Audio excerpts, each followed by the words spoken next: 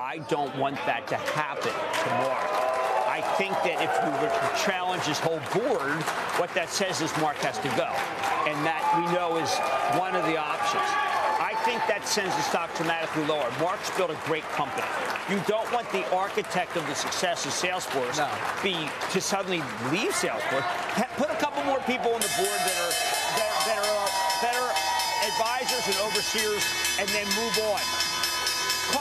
Market where anything that's uh, so-called uh, enterprise software is going lower. And I think that that's, you know, I, again, I urge people to take a little longer term view, take a little bit more of a Buffett view. I mean, Buffett does not advise you to sell on a bad quarter or two. Yeah. Uh, there's a look at the, the final uh, day getting underway, 39.77. At the big board here, it's Group 1 Automotive celebrating 25 years listed at the NASDAQ LKQ Corporation, provider of specialty auto parts. That's a good company. Wow. Yep.